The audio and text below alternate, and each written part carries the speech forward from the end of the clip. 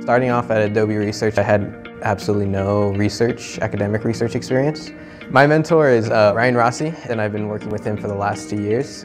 It's a very unique relationship in that he was okay teaching me basically from zero and investing a lot of time into me. And so last year our research was mostly evolved from Adobe's customer journey analytics. We wanted to explore how people interacted with those tools and whether they wanted to see data delivered to them in a text format or in a graph format or even like a table format. And then on top of that, we wanted to see to what degree AI was able to replicate human preferences. And so that almost directly fed into our project this year. We're having the humans essentially give feedback on the user interfaces, and then we're comparing that with AI preferences on the same designs. My first year as an Adobe research intern, we got our paper published in the web conference in Sydney, Australia. Traveling to Australia to present my research was definitely a surreal experience. I think some advice for future interns, especially at Adobe, is make your way into spaces that you probably don't belong in. Even if I couldn't contribute, I could still sit in and listen and then if I could contribute to make my like voice heard.